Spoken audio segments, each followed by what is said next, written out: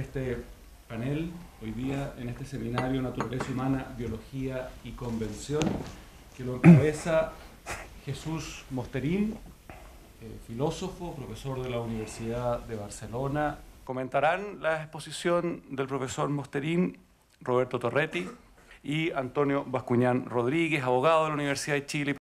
Naturalmente, todas las especies tenemos una naturaleza y si ustedes mismos pues, se comparan con un cocodrilo, por ejemplo, se darán rápidamente cuenta de la diferencia. Bueno, nosotros, pues en primer lugar, desde un punto de vista ontológico, aristotélico, somos cosas. Y el ser una cosa es lo más que se puede ser en el plano ontológico. Esta es el gato de Cheshire que aparece en, Alicia en el País de las Maravillas y entonces el gato desaparece y solamente queda la sonrisa, lo cual nos parece a todos muy raro y muy chistoso. Y eh, la sensación de chiste viene de que nos parece que es imposible que haya una sonrisa de gato sin que haya gato. Y es que así como el gato es una cosa, la sonrisa de gato no. Bueno, nosotros somos sistemas físicos como todos los demás y en concreto estamos hechos básicamente de oxígeno, carbono, hidrógeno, nitrógeno, calcio y fósforo en las proporciones que aquí se indican.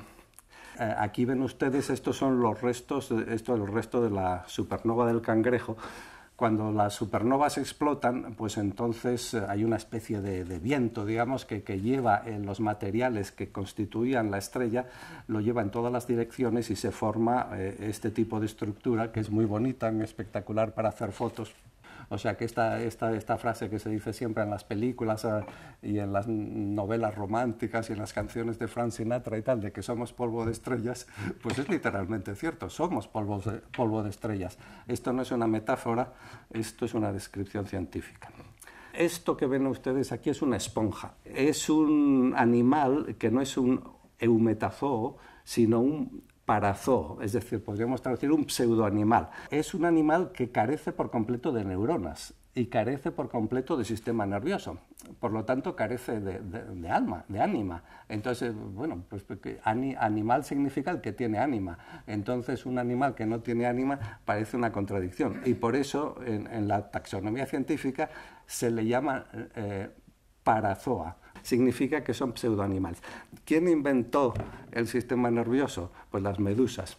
¿Y por qué inventaron las, las, medusas el sistema nervioso? Por la sencilla razón de que las esponjas se están quietas en el sitio donde están y como están quietas no necesitan ningún tipo de cálculo ni, de comunicación. Pues ahí están, si tienen suerte les va bien, si tienen mala suerte les va mal.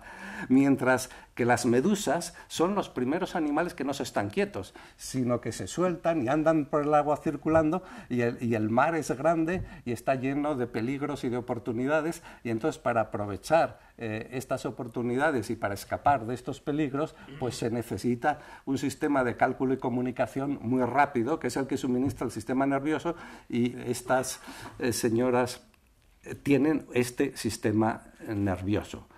Y nosotros descendemos, en fin, sin entrar en detalles de ellas, nosotros conservamos los genes que codifican los trucos que nuestros antepasados han ido descubriendo. Y entre otros, pues nuestras honorables antepasadas, las medusas, descubrieron nada menos que el sistema nervioso. Y nosotros conservamos esos genes.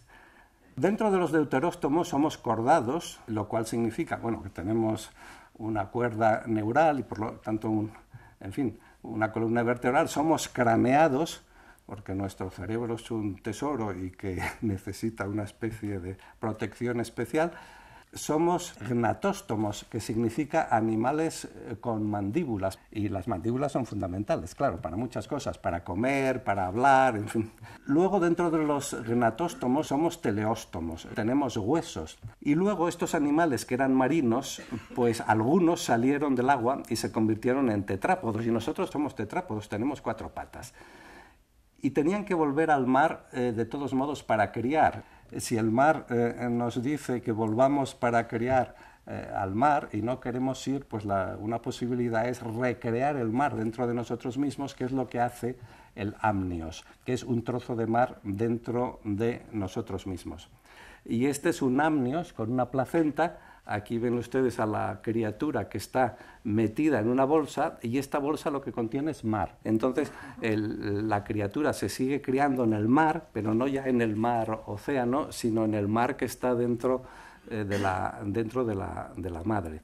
Y entonces cuando las mujeres van a parir eh, se produce esto que, que se llama la rotura de aguas, que es la rotura precisamente de este de este amnios. O sea, todo esto son cosas muy importantes que forman parte absolutamente esencialísima de nuestra naturaleza, evidentemente. No solamente somos todas estas cosas, sino que somos, y sobre todo, primates. Los primates, lo único que significa que son los más importantes, los más estupendos, que son los primeros. ¿Cómo nos hicimos nosotros, los homínidos, que incluyen a los chimpancés y a los gorilas y a los orangutanos, cómo nos hicimos seres ya más específicamente humanos, es decir, la subfamilia de los homininos.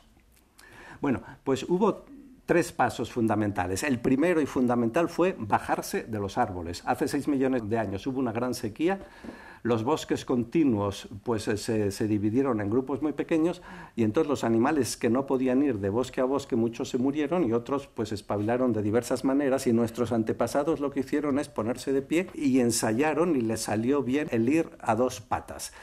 Esto tuvo una consecuencia inmediata, que fue la liberación de las patas delanteras, que se convirtieron en manos.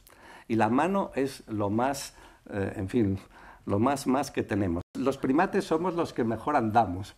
Y entonces no solo somos los que mejor andamos, sino que somos los que mejor corremos fuera de, en fin, de los ongulados y de los carnívoros, pues nosotros corremos excepcionalmente bien y sobre todo no tanto en la velocidad como en la carrera de resistencia. Nuestra mano se liberó, se hizo, en fin, mucho más suave y hábil y tal, y en especial desarrolló algo nuevo que es la pinza de precisión. Es decir, todos los primates tienen lo que se llama la pinza de agarre. ¿Qué es esto? Por ejemplo, este vaso lo agarran así. Y esto es la pinza de agarre. Pero nosotros tenemos además la pinza de precisión, que nos permite coger un pincel y pintar, o comer con palillos, si somos chinos, o, comer con cuchillo y tenedor, y nos permite coser, y nos permite escribir a mano, y escribir con la computadora, y tocar el violonchelo, y nos permite hacer infinitas cosas. Esta pinza de precisión que nosotros tenemos se debe a que somos capaces de tocar con la yema del dedo pulgar las yemas de los otros dedos. Pobre de aquel que no lo puede hacer, porque va a tener muchos problemas en la vida. Pues esto ha sido absolutamente fundamental para eh, que nuestra naturaleza acabe, digamos, de, de, ser lo que es. Bueno, nosotros tenemos dos procesadores de información que son el genoma y el cerebro. Entonces aquí ven ustedes el genoma de una persona que como ven tiene el síndrome de Down, por ejemplo, porque tiene tres cromosomas 21.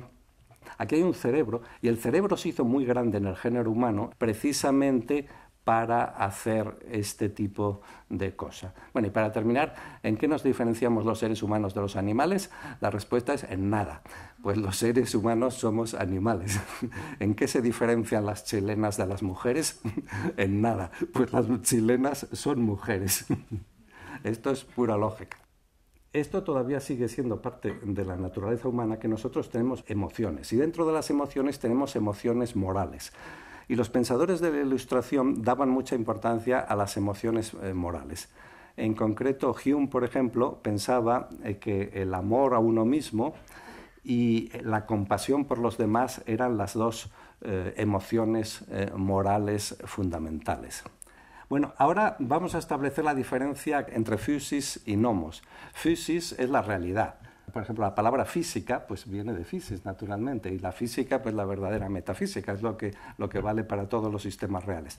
Entonces, en la ilustración ateniense del siglo menos quinto hubo unos señores, los primeros profesores, los llamados sofistas, que eh, pensaron que la vida humana no solamente está afectada por, por, la naturaleza, sino que hay otras cosas que también nos afectan mucho y acaban formando una especie de superestructura de convenciones. Esto le llamaron nomos, que significa también ley o convención en griego. Y hay modalidades naturales. Yo digo que, no sé, pues que es imposible que el 3 sea mayor que el 7. Bueno, estos son modalidades naturales. Pero luego hay otras modalidades que son convencionales. Es decir, nosotros podemos crear necesidades que no existen en la realidad. y estas necesidades convencionales son lo que llamamos obligaciones. Podemos crear también posibilidades convencionales que no existen en la realidad y estos son lo que podemos llamar pues, permisiones. Y podemos eh, crear imposibilidades convencionales. Y estas imposibilidades convencionales pues, es lo que llamamos prohibiciones. Para resumir, una norma moral es una mm, modalidad convencional, una obligación o prohibición que yo me doy a mí mismo. O sea, una norma moral es una especie de regla que me evita mm, pensar, haciendo siempre de la misma manera cosas del mismo tipo. Por ejemplo, cuando yo voy a un restaurante y me traen la cuenta, a mí se me plantea un dilema. El dilema es ¿qué hago? ¿Pago la cuenta o me voy sin pagar? Este, este, es un dilema que a uno le puede producir una gran angustia. Y, si tuviera cada vez que va al restaurante, eh, pues tuviera que plantearse este problema con toda su angustia, pues en fin, se moriría de, de tantos sustos. Entonces, es mucho más cómodo decidir de una vez por todas.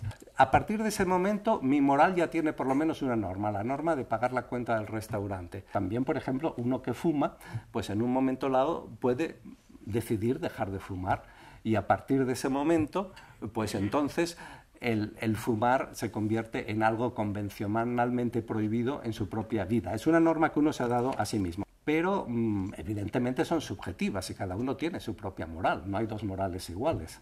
Lo que pasa es que esto sería, nos llevaría a todo tipo de choques y problemas en la vida social. Por lo tanto, en la vida social, a diferencia de lo que ocurre en nuestra propia vida individual, nosotros necesitamos algo más que normas morales, necesitamos normas jurídicas. Pueden ser ciertos compromisos o pueden ser incluso pura y simplemente imposiciones del legislador, que el legislador puede ser muchas cosas, desde el Parlamento hasta hasta, hasta, en fin, hasta un dictador o hasta, o hasta quien sea. Y hay otras normas que no son ni, ni, jurídicas ni, ni, morales, sino que hay un tipo de normas que, bueno, normas de, de, de etiqueta, normas de buena conducta, normas que si no las cumplimos, no sé, si alguien, no sé, va siempre muy sucio, por ejemplo, pues los demás, no es que eso esté prohibido, pero los demás pues van a ir menos con él y tal, entonces hay una presión normativa de la sociedad.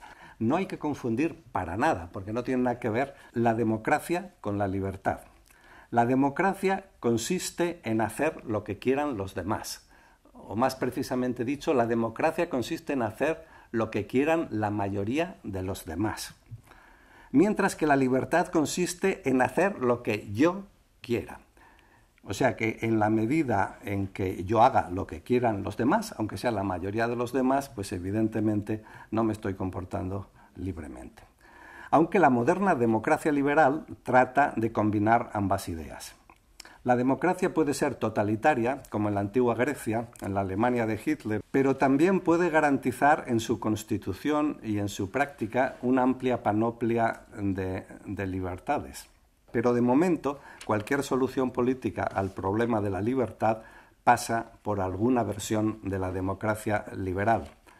Como hemos dicho antes, una moral es un conjunto de preceptos o un conjunto de normas o como lo quieran llamar ustedes, que un individuo se da a sí mismo.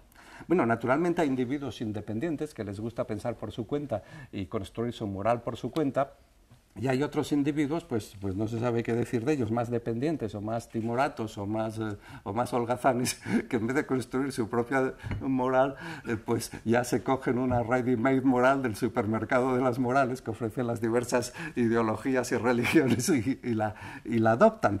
Una moral que tomamos así del supermercado eh, de las morales, pues normalmente no está tan bien adaptado a nosotros y a nuestra vida y a nuestros intereses y circunstancias como la moral que nosotros mismos mismos nos construimos.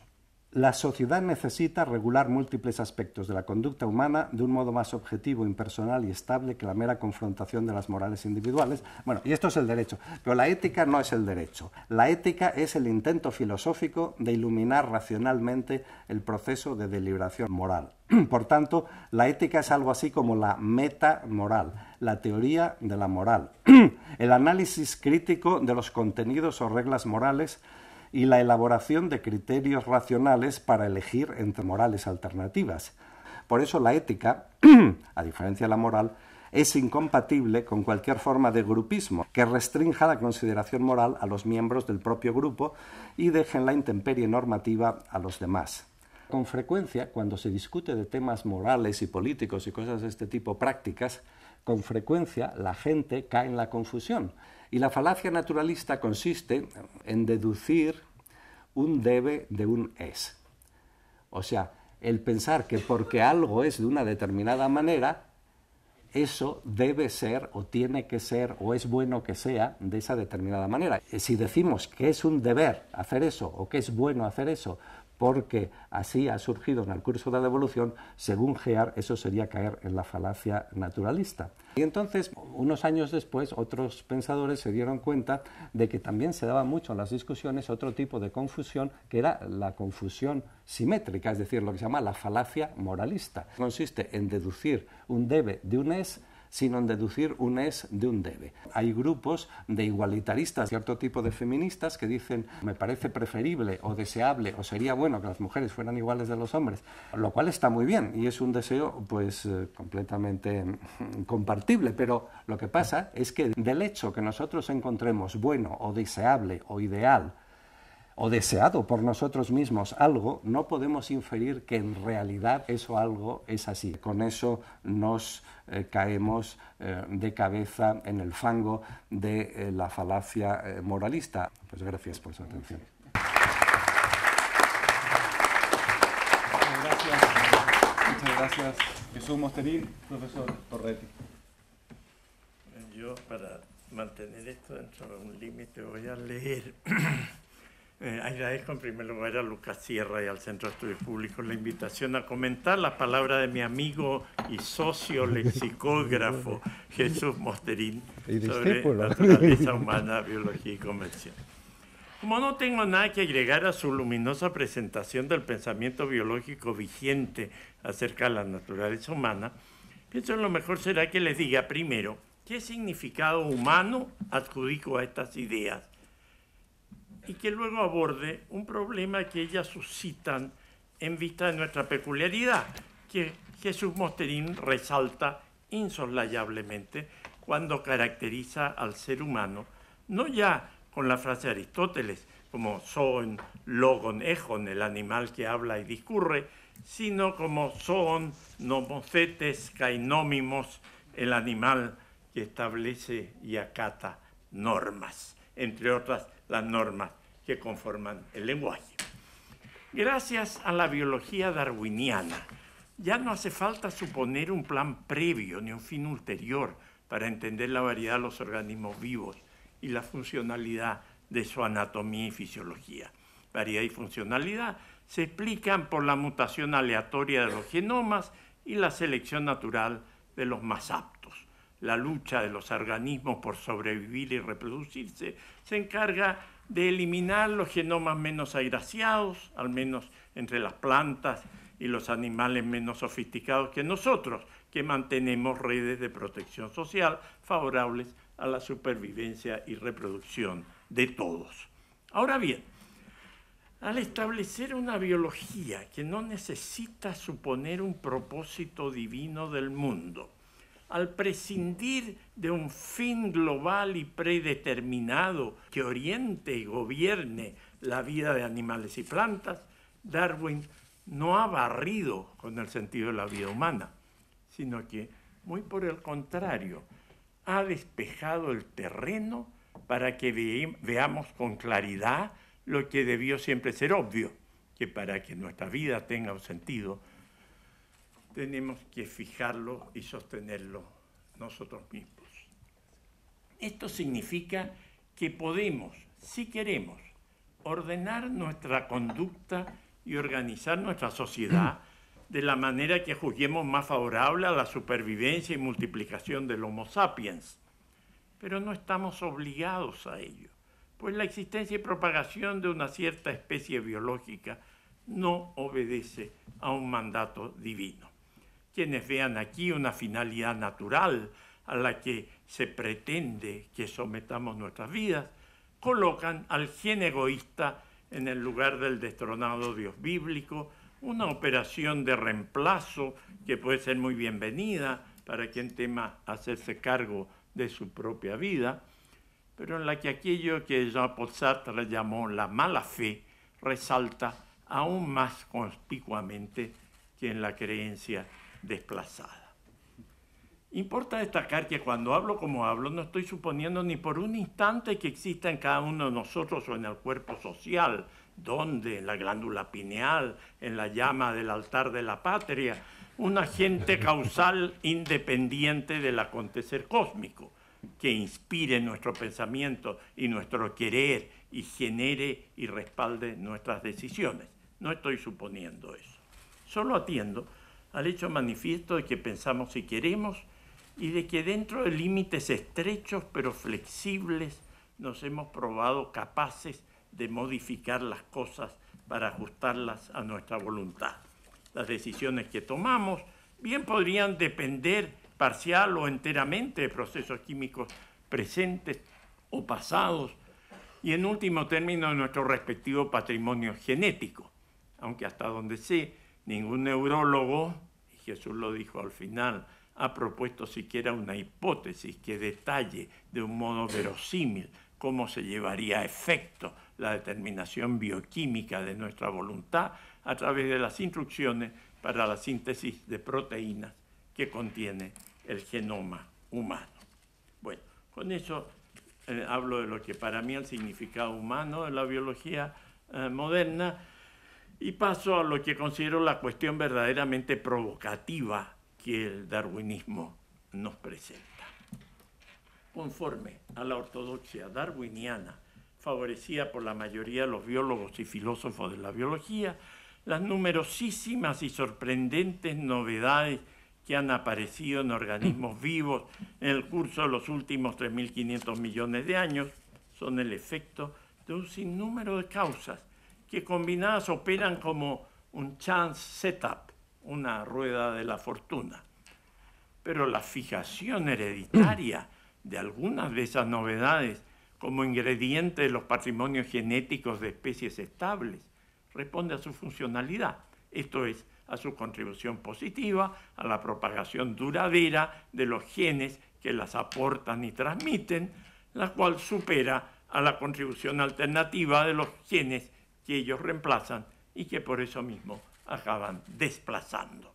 Ahora bien, los seres humanos exhibimos tendencias y ejercemos preferencias que, hereditarias o no, se repiten de generación en generación y que sin embargo no parecen ser funcionales en el sentido descrito, en cuanto no contribuyen palpablemente a la propagación del genoma humano en ninguna de sus formas e incluso en ciertos casos la contraria.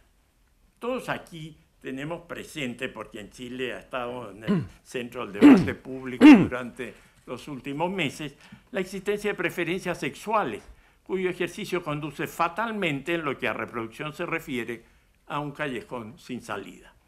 Pero aún dejando ese caso de lado, cabe citar muchos otros en que una tendencia o preferencia que quizá alguna vez quedó fijada en el patrimonio de la especie humana porque servía a una función reproductiva, se ha disparado en el contexto de la vida civilizada a extremos que nada tienen que ver con tal función.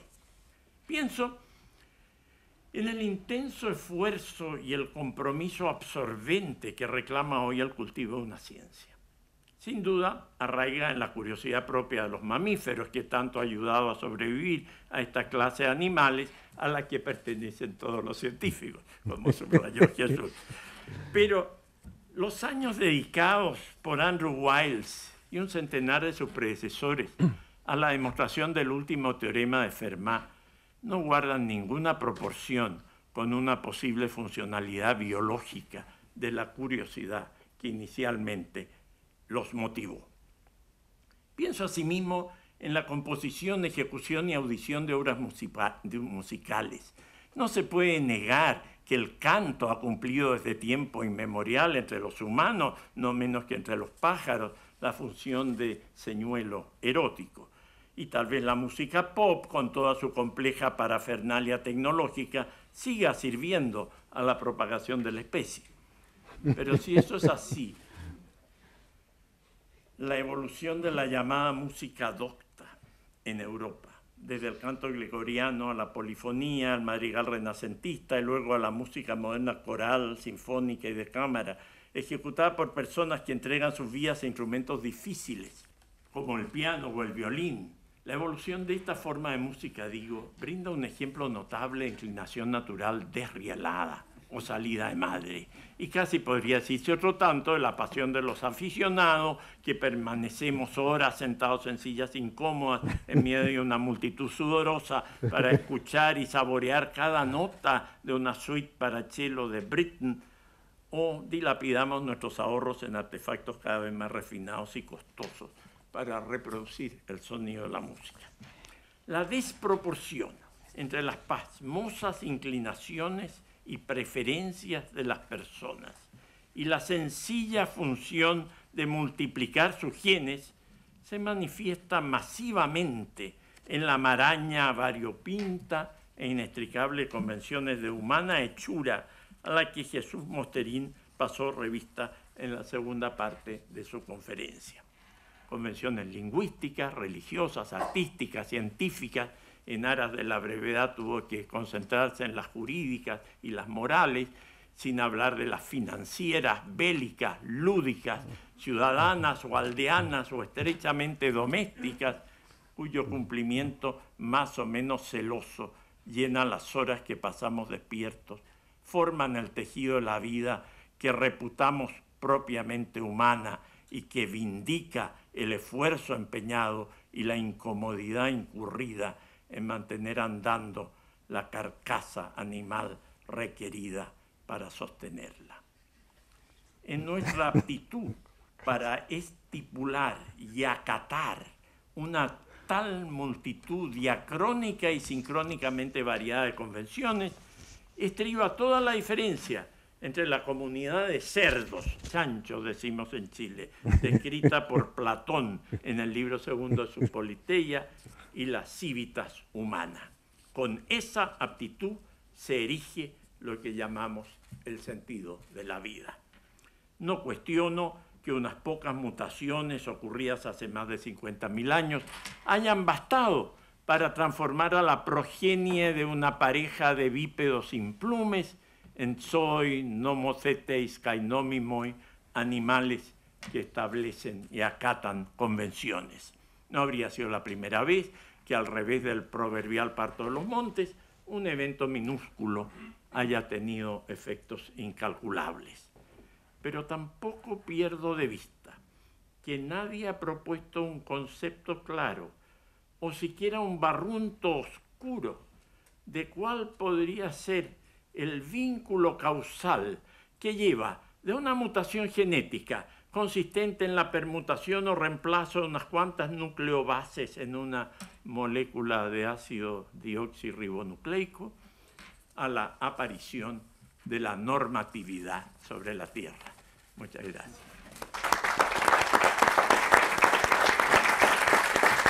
Antonio Bascuñán. Pensar en las reglas como resúmenes de experiencias pasadas ¿no? Y, no como definiciones constitutivas del sentido de la acción que realizamos, también me parece que es un punto en que hoy en día una teoría como la de Jesús Mosterín no podría soslayar como explicación. Si ustedes tienen una partitura, ¿no? y entonces en la ejecución de la partitura ustedes reconocen la lectura de la convención.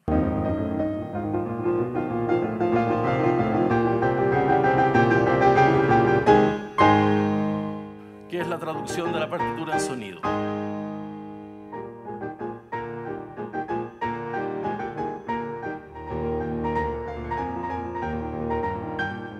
Ustedes lo que tienen, por un lado, es una eh, actividad regida no por convenciones, sin duda la notación musical, y por otro lado, que tienen es expresión de subjetividad y producción de efecto subjetivo en el oyente.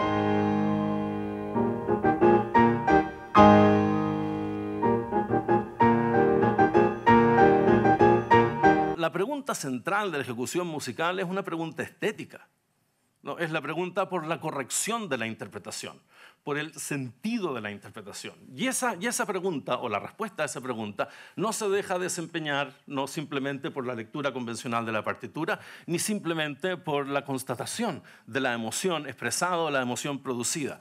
En las cuestiones de legitimidad sería exactamente lo mismo que los súbditos aceptaran el discurso del soberano o que el discurso del soberano fuera aceptable y entonces la pregunta es, el, hecho de la aceptación ¿no? y el reconocimiento como desempeño de la pretensión de validez, ¿son lo mismo?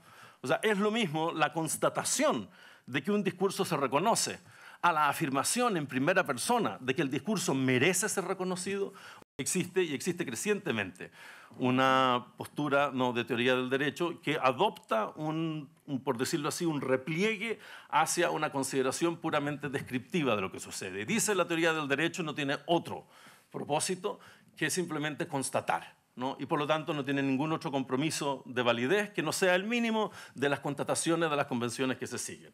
Pero la verdad de las cosas es que esa teoría del derecho lo que hace es que renuncia a lo que siempre ha hecho la teoría del derecho. Y lo que siempre ha hecho la teoría del derecho es intentar acreditar ¿no? ante el mundo una pretensión de corrección que está entablada también en el derecho. Y yo quisiera terminar mi intervención haciéndole una pregunta a, Jesús Mosterín en relación con esta idea. Supongamos que lo que caracteriza al punto de vista no monoteísta es uno, una afirmación incondicional del sentido del mundo. Y eso significa que la propia biografía tiene sentido. Uno tiene sentido en su existencia porque el mundo tiene sentido en su existencia. Yo diría que eso es Dios. La asunción de Dios como premisa es eso. es partir de una afirmación radical del sentido del mundo que incluye ciertamente el sentido de la propia biografía.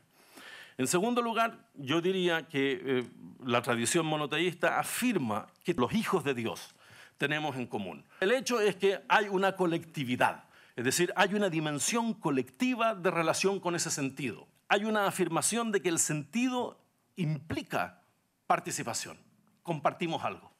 Los seres humanos compartimos algo. Y finalmente está la idea de la redención. Es decir, la idea de que, de que nuestra existencia actual es radicalmente insuficiente y que tenemos una promesa de superación de esa insuficiencia. Y yo diría que los liberales, desde luego, no comparten el tercer punto. Los liberales tienen más bien una idea de que el, presente es pleno. Y esa es una idea pagana. Jesús Mosterín, al final de, su libro, nos dice, la, vida es un hecho improbable y precario. ¿no? Uno no debe partir de la vida como algo obvio. Lo obvio, permanente, es la muerte.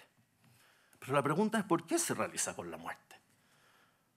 Y la idea que tiene Jesús eh, de que la muerte es una fusión de plenitud ¿no? con el cosmos, a mí me parece que es el último residuo de su cristianismo. Muchas gracias. Muchas gracias, Antonio Vi que tomó debida nota, profesor Mosterín. La respuesta a la pregunta ¿qué sentido tiene la vida? es unívoca, es ninguno. La vida carece de sentido, lo cual no es óbice para que, como ha dicho Roberto Torrete, y es muy importante, nosotros podamos, si queremos, dar un sentido a la vida. Y este sentido puede ser muy distinto. Algunos se puede ir a ayudar a los pobres niños africanos y, eso es el sentido de su vida, otro puede tratar de demostrar un teorema y desde luego ninguno está dado por la naturaleza. Y en segundo lugar, una cosa que es muy importante tener en cuenta es que hay diversos tipos de evolución. Hay la evolución biológica y hay otros tipos de evolución que no son la evolución biológica. Por ejemplo, la evolución cultural, que no es la evolución de los genes, sino la evolución de los memes. O sea, por ejemplo, la evolución de la capacidad lingüística es eh, una evolución puramente biológica al 100%. Pero una vez que tenemos la capacidad lingüística, la evolución de las lenguas del francés o del castellano o del chino, y dentro de las lenguas de los dialectos y dentro de las lenguas y los dialectos la evolución de la literatura, la evolución del teatro, de los géneros, en fin, la evolución de la música, todas estas cosas eh, evolucionan, pero no evolucionan por evolución biológica y no están basadas en codificaciones genéticas, evolucionan de otra manera. Yo estoy de acuerdo con Ortega y Gasset que la, que la claridad es la cortesía del filósofo y del científico, pues hay que tratar que estén claras. o como decía Goethe, también citado por Ortega, yo me declaro del linaje de esos que de lo oscuro hacia lo claro aspiran. Yo no he entendido por qué has aludido muchas veces al monoteísmo. O sea, yo no sé si soy un especialista en monoteísmo, pero en los últimos tres años he escrito tres libros sobre el monoteísmo. Uno se titula Los judíos, otro se titula Los cristianos y hace unas semanas otro que se titula El Islam, que son las tres grandes religiones monoteístas. No entiendo que el monoteísmo tenga absolutamente nada que ver eh, con la cuestión de que estábamos hablando. El monoteísmo es simplemente una doctrina religiosa y hay muchísimas religiones, la mayoría que no son ni politeístas ni monoteístas. Eh, eh, digamos, lo que hay es una diferencia grande entre las religiones, por ejemplo, antiguas, que creen en los dioses verdaderos, es decir, en los dioses que existen de verdad y que son patentes y visibles. Por ejemplo, los que adoran a la luna y adoran al sol y adoran a las estrellas, pues estos son, eh, digamos, este es el orden superior de la religiosidad. Es una religión basada en la verdad, en que adoramos a unos dioses que evidentemente existen. El sol existe, no hace falta fe. La fe, evidentemente, es una patología de la mente. Hay que estar enfermo para creer lo que no ves y no puedes demostrar y tal. Parece que precisamente eso es lo que no hay que creer es lo que parece que cualquier persona sana que esté bien de la cabeza tiene que rechazar radicalmente. Eso es una definición de la locura. O sea, la cordura consiste en creer lo que ves, lo que tocas, lo que compruebas y naturalmente todas las empresas humanas razonables se basan en ese tipo de conocimiento. Entonces, si uno va diciendo, bueno, hay un segundo sol, pero que es de color violeta, y todos preguntamos, ¿pero dónde está el sol de color violeta? Y si la respuesta es, bueno, es que este sol no se ve, pero hay que creer en él y por eso tiene más mérito, porque no se ve. Pues hay una diferencia entre creer el sol violeta que no se ve y ver el sol que sí se ve. El sol es un Dios que existe de verdad. Y entonces estas no son religiones ni monoteístas ni politeístas. Son religiones prácticamente protocientíficas, son religiones que adoran cosas muy importantes de la naturaleza que existen en la realidad y de las que nosotros dependemos. Porque, bueno, todas las historias estas, un tanto infantiles, de nuestra dependencia de no se sabe qué dioses inexistentes, no tienen ni un gramo de verdad en comparación con la verdad tremenda de que nosotros dependemos en el 100% de lo que somos y lo que vivimos del sol, por ejemplo. Dependemos del sol para todo lo que respiramos, para todo lo que comemos, para todo lo que somos. El día que no haya sol, desde luego no habrá vida, no habrá humanidad, no habrá seres humanos. Nosotros somos un epifenómeno del sol, todos parasitamos de la energía del sol. Este sí que es un Dios de verdad. Todas estas cosas del monoteísmo incondicional y del sentido incondicional de esto y del otro, a mí me parece que todo esto es una palabrería bastante hueca. Estas expresiones solamente sirven para hacer discursos y para hacer retórica. No tiene nada que ver con el desarrollo real de las religiones monoteístas y que se puede seguir y se puede seguir muy bien. Está bastante bien documentado. O sea, en resumen, estas cosas que, que he discutido son básicamente porque en parte no las he entendido y lo reconozco y cuando he querido entenderlas, pues seguramente las he malentendido. Yo creo, Jesús, que usted ha incurrido aquí en, lo que los analíticos denominan no una contradicción performativa. O sea, por una parte ha tratado mi, comentario de retórica que oculta la falta de sentido y por otra parte ha tratado su respuesta como eh, un probable malentendido por el cual se excusa. O sea, o lo uno lo otro? Bueno, yo en principio muchas veces no entiendo las cosas, o sea, no te crees que lo entiendo todo. Y entonces, si te digo que lo que has dicho, pues una parte, la mitad, no lo ha entendido, pues es porque es así, no es, no es ni una defensa ni un ataque, sino simplemente eh, porque es así. Para decirlo entonces en términos que sean más comprensibles. Lo, lo que yo creo es que jugar a Popper o Albert eh, hoy en día eh, es insuficiente porque es superficial. O sea, uno necesita hacerse cargo de la objeción de Winch a Popper, uno tiene que hacerse cargo de la objeción ¿no? de Habermas a Albert, uno que tiene que hacerse cargo de las objeciones de Frankfurt a, la, a Berlin en la teoría de la libertad negativa y de Taylor a Berlin en la teoría de la libertad negativa. Y eso es básicamente lo que yo dije. Tener una presentación liberal o filoliberal basada en la relevancia epistémica de la distinción entre hechos eh, y decisiones es hoy en día insuficiente por superficial. A mí nadie me ha dicho que venga aquí a citar autores y a empezar a decir que si no sé quién, que si el otro, que si uno y el otro.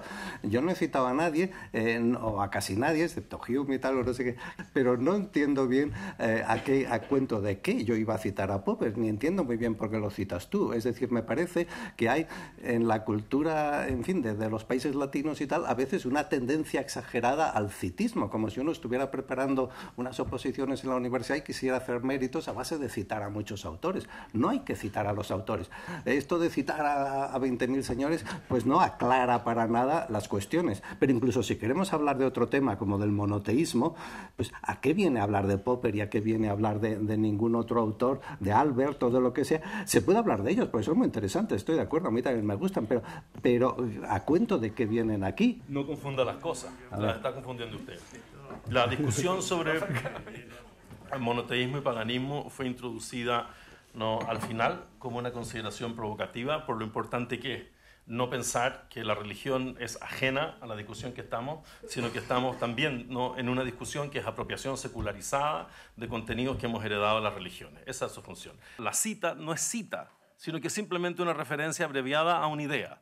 Y las ideas de Popper y Albert subyacen a su distinción entre naturaleza y convención, ¿o no?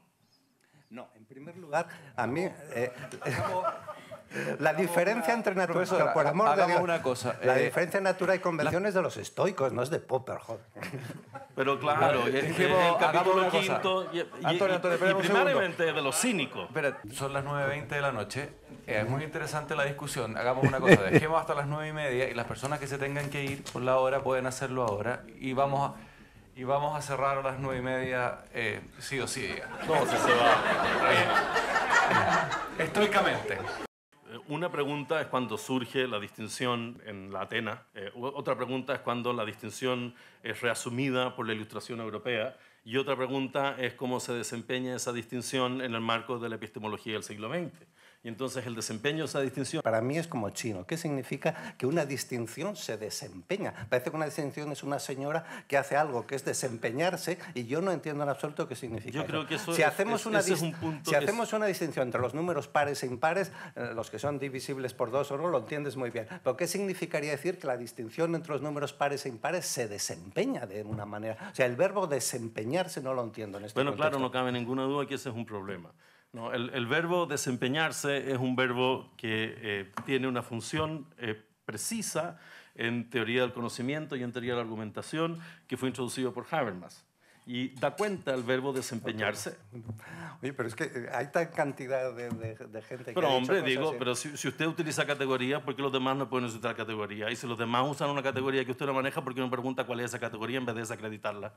Oye, pero si tú ahora te pones a hablar, en vez de hablar en español, te pones a hablar en chino, pues yo no tengo nada que decir. Simplemente yo no entiendo el chino y Bueno, no entiendo pero- los desempeños. Sí. Explique la distinción, pues. Un- Un desempeño consiste en el reconocimiento efectivo de una pretensión en virtud de una regla o criterio que es compartido por ego y alter.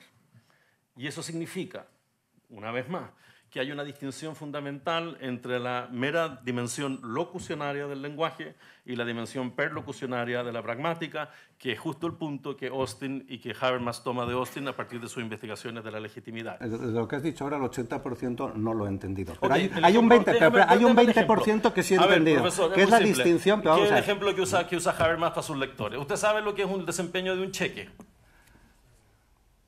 No. ¿Cómo se desempeña un cheque? Un cheque se desempeña cuando tiene fondos en la cuenta corriente. Eso es exactamente lo que Habermas quiere decir en términos metafóricos con el desempeño de un argumento. Un argumento se desempeña cuando es capaz de apelar a un principio o regla que adjudica validez que es compartido por interlocutor. Y eso es lo que constituye ¿no? el hecho de la interlocución. No he entendido nada. Pero bueno, de todos modos, si es las cosas que provienen de Habermas normalmente no se entienden. Eso no es nada nuevo. Yo he participado tres veces en, en- en discusiones con esta, con Habermas mismo. Y una vez estaba con Habermas y con Searle, que Searle, como sabes, también es el que propuso con mucha más claridad la distinción esta a la que has aludido entre... el- Locucionario y Claro, hiperlocucionario. yo estaba una vez en una mesa como esta y estaba Searle y, y, Habermas. Y Habermas habló durante ahí, durante una hora, echó, nos echó un rollo macabeo absolutamente confuso y larguísimo y oscurísimo y tal. Y entonces, durante todo el tiempo, Sear no hacía más que rascarse la cabeza, le parecía que iba a salir de ahí. Y cuando acabó Habermas, le dijo Sear, ¿sabe usted, señor Habermas, me parece que entre nosotros apenas hay diferencia en esto de los actos de habla y tal que estamos hablando. Y me parece que la única diferencia entre usted y yo es que lo que usted dice en 300 páginas yo lo digo en un párrafo. Y entonces esto es la pura verdad. Entonces Haberman sigue la tradición eh, germánica, digamos, de la oscuridad, de la tradición idealista, la tradición hegeliana, la tradición está de enseñar al escrito a la secretaria. ¿Lo, entiende usted, señorita? Sí, pues oscurezcámoslo, ¿no? Entonces hay la tradición hegeliana, las cosas estas, cuando la idea que, que está en sí misma sale de fuera de sí misma y vuelve a sí misma y tiembla pensando en sí misma y siente nostalgia de sí misma, puntos suspensivos, das ist Electricität. Eso es la electricidad. Hay un retorcimiento constante de las palabras durante cientos y cientos y cientos